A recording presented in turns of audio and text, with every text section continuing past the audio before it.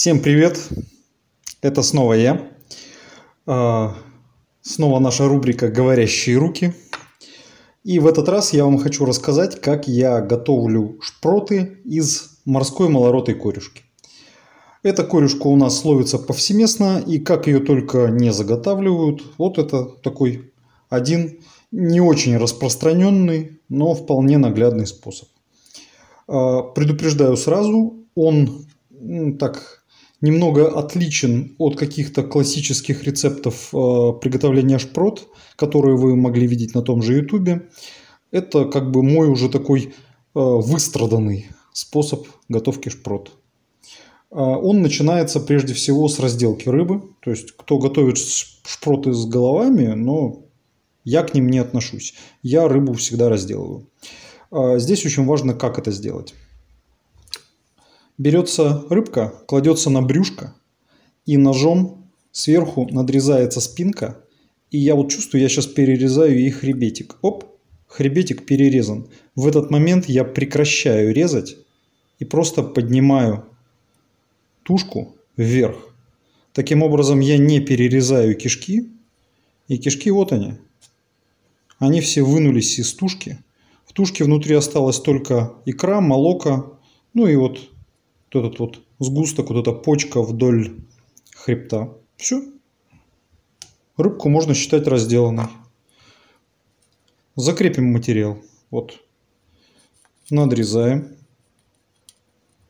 Оп. Прорезали хребет. И просто поднимаем вверх рыбку. Все, кишки полностью здесь. А вот здесь, вот видите, вот а, желтенькая, это икорка. Ну, кто я такой, чтобы из корешки вырезать икру?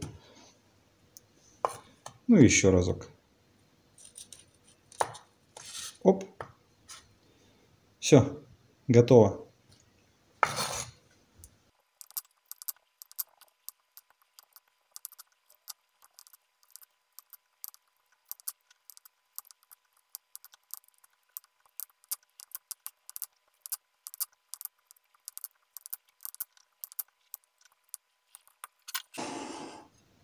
Рыба почищена.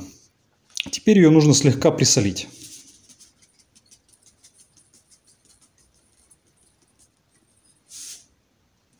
Пожалуй, еще. А, солите так, чтобы вам а, на вкус было солоновато, но не чересчур. То есть исключительно все на вкус. Как следует перемешивайте рыбу с солью. Э, и в таком состоянии ей нужно дать э, постоять э, порядка 10 минут. Оставим ее вот в покое, пусть постоит. Обстановочка немножко сменилась. Я приволок вот такую вот решеточку. Не удивляйтесь, что она такого странного вида. Это решетка от коптильни. Я сейчас буду выкладывать вот сюда корюшку с целью, чтобы она подсохла, немножко подвялилась. И потом сразу на этой решетке отправлю рыбу в коптильню. Просто я вот сейчас уже подсоленную рыбку вот так вот разложу на решетке. Потом рыба отправится на подоконник, на солнце. Там на солнце она подвялится. И когда она Э, будет уже такой, ну, не прям там сухой, а такой сухонькой слегка, а, она пойдет в коптилку.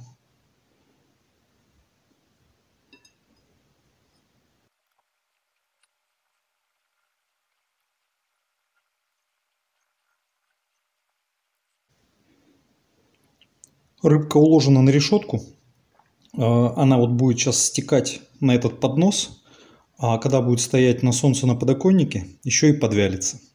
А вот это осталась рыба на вторую загрузку решетки. Поехали. У вас сейчас, наверное, будут два вопроса. Что это шумит и что это за страшная коробка. Шумит вытяжка, чтобы не пахло дымом. А страшная коробка – это коптильня горячего копчения. Вот видите, с нее уже подпросачивается дымок, ну-ка. Да. Там все в разгаре. А, рыба немножко подвялилась на подоконнике. На все ушло где-то около часа. После этого я ее просто вот на решеточке принес и опустил а, в коптильню и поставил на огонь. А, здесь э, тут уже каждый сам для себя решает, сколько он будет коптить. Кто-то любит прям сильно закопченные, как в банке. Кто-то любит слегка-слегка. Я люблю, ну, нечто среднее, чтобы вот чуть-чуть зазолотилась, чуть-чуть цвета приняла. А, на то, чтобы рыба приняла цвет, ну, достаточно где-то, ну, 6 минут. Может, там иногда 8-9 минут. А, если больше, рыба уже прям становится конкретно копченой.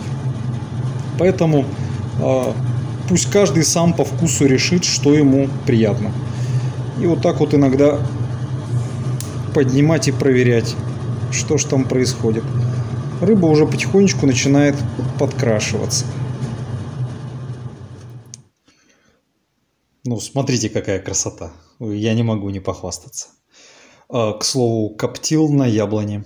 А, все магазины на лопате, где продается щепа, поэтому пришлось вот у нормальной яблони просто пообломать палочек сухих и на них коптить. А, а, держал как раз вот около 6-7 минут. А, и, честно говорю, обычно я все-таки до такого сильно золотистого цвета, как я считаю, я не довожу. Я делаю чуть-чуть послабже. Теперь последний такой вот этап. Он самый простой, доступный. Берется растительное масло. Вот у меня вот подсолнечное рафинированное. О, кстати, вот жуликоватая оказалась Семеновна. В масле не 1 литр в бутылке, а 900 миллилитров. Вот такая вот ерунда. На всем уже экономим. Льем а, масло в емкость. Мы не Семеновна, жалеть не станем. Льем прям хорошечно, чтобы было. Кладем туда на дно буквально вот совсем чуть-чуть. Один, вот, два, три листика лаврушки. И сверху тоже вот буквально для запаха черным перцем и кориандром. Кориандра можно побольше, чем черного перца.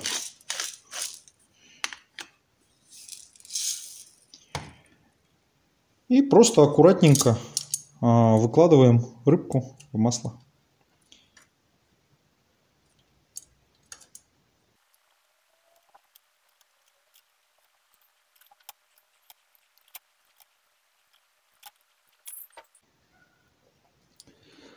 Как видите, когда вот уложил рыбу, стало видно, что масла не хватает все равно. То есть все равно я как Семеновна пожалел немножко.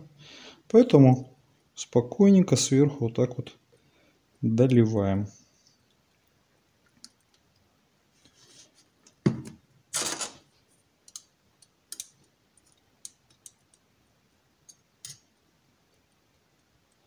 Прям так особенно стремиться, чтобы все было прям покрыто маслом на все 100. Может, конечно, и не стоит, потому что вот так или иначе будут торчать кончики плавничков какие-то, вот маленькие какие-то части, которые выпирают кверху. Это не страшно.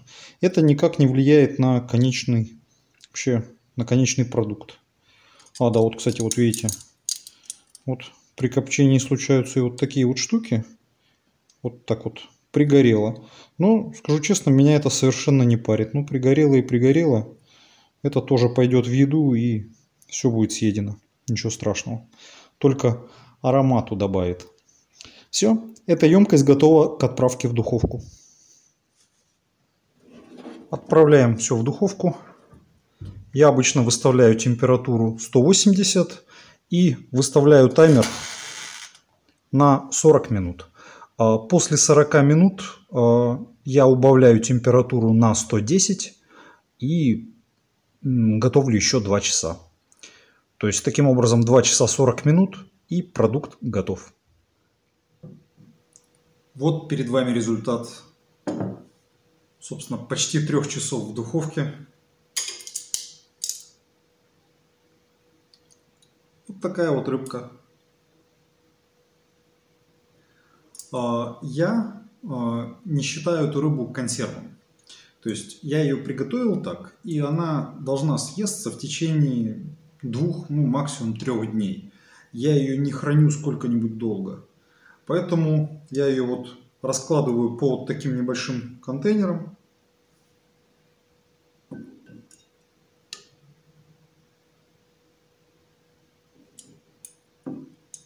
И так вот заливаю вот этим маслом и так храню. Очень, поверьте, просто и удобно. Если попадается такая вот большая рыба, то поверьте, ничего страшного, ее можно просто вот свернуть в три погибели, сломать там нормально. Все хорошо. Давайте попробуем, что получилось. Мне особенно интересно, не всегда получается а, пропечь хребет. То есть бывает он за это же время пропекается прям очень хорошо, а бывает так еще не очень. Вот мне сейчас интересно, что получилось.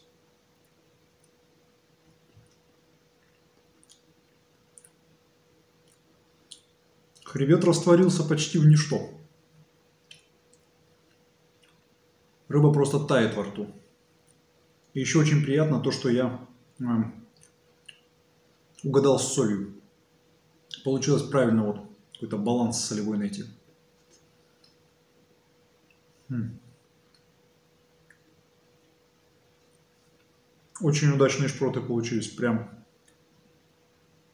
ну вот, скажу так, у меня не всегда получается сделать очень удачные шпроты.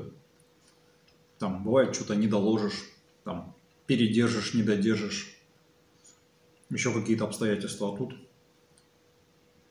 прям удалось все до последнего.